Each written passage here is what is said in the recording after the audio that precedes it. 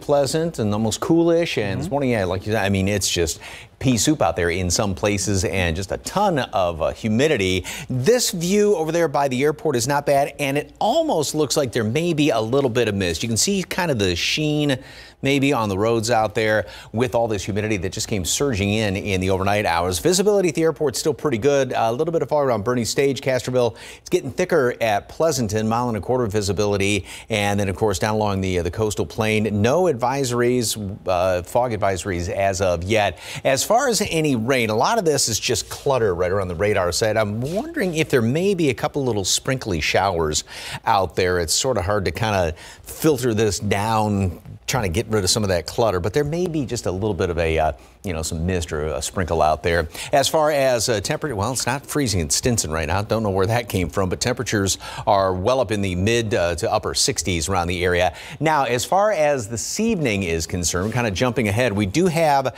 the marginal to slight risk for a couple of uh, severe storms. Northern half of our viewing area, just barely grazing uh, Bexar County. That's as the next front works its way on through here, and that's going to be in the uh, the overnight hours and probably completely out of here by drive time tomorrow morning.